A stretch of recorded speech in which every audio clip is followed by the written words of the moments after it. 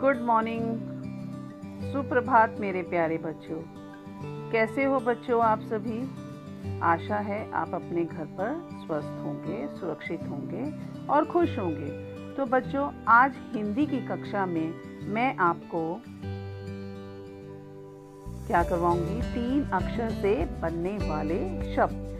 आज मैं आपको तीन अक्षर से बनने वाले शब्द करवाऊँगी। तो बच्चे तीन अक्षर के शब्द, हम दो अक्षर के शब्द कर चुके हैं। आपको रीडिंग भी आती है। तीन अक्षर के शब्द में जो अब मैंने नए व्यंजन करवाए हैं, मैं आज उन व्यंजनों के आपके लिए नए शब्द लाई हूँ। तो देखें, हमारा पहला शब्द कौन सा है?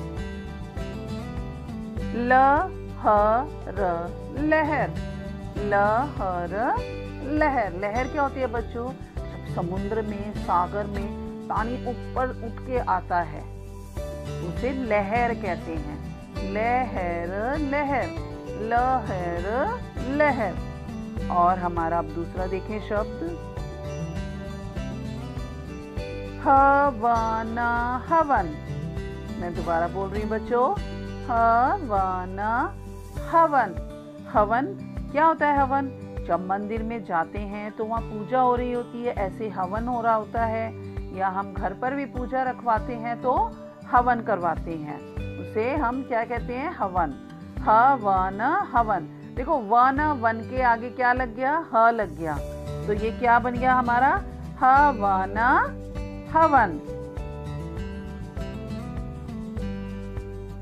यस ये है हमारा मा, ह, क। रीड करो एक बार इसको। मा, ह, क। महक। मा ह, क, महक। महक क्या होती है बच्चों? महक कहते हैं खुशबू को। जब मम्मा किचन में खाना बना रही होती है तो एकदम से अच्छी गीली गीली महक आती है। बारिश होती है तो उसमें से भी जब गीली मिट्टी होती है तो महक आती है। हलवाई की शॉप पर भी अजीब सी मीठी मीठी महक आ रही होती है। फूलों की भी एक अलग खुशबू होती है, महक होती है। तो क्या कहते हैं इसको? महक। महक। तो बच्चों, ये थे हमारे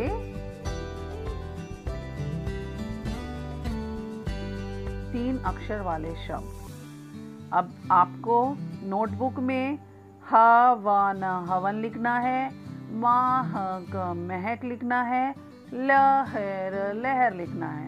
और सुंदर सुंदर ह बनाना है। मैंने कई बच्चों का ह देखा है, अच्छी नहीं आपकी लिखावट आई हुई है, अच्छी फॉर्मेशन नहीं है।